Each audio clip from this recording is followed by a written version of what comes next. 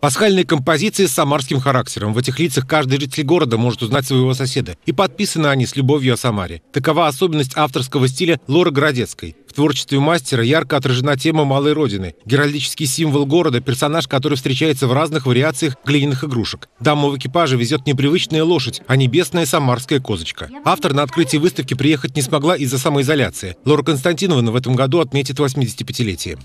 Если мы смотрим на композиции, которые составлены из глиняных игрушек, если обратим внимание на заднюю часть этих игрушек, они практически все подписаны. Они, подписаны с какой-то вот э, ну, мудрой идеей, с какой-то любовью о Самаре. Лора Константиновна по-прежнему бодра, энергична, у нее очень много замыслов, планов. Экспозиция «Городские сказки», которая открылась в Самарском областном художественном музее, составлена из глиняных игрушек и фотографий. Автор снимков, фотограф и журналист Юрий Стрелец. Тоже человек с самарским характером. С Лорой Городецкой они знакомы давно, а вот совместная выставка – это творческий эксперимент, в котором главная – самарская тема. Есть колорит свой. Есть, в конце концов, Крылья Советов, Грушинский фестиваль, там космос, горчишники самарские, там история какая-то. Конечно, есть. Волга есть.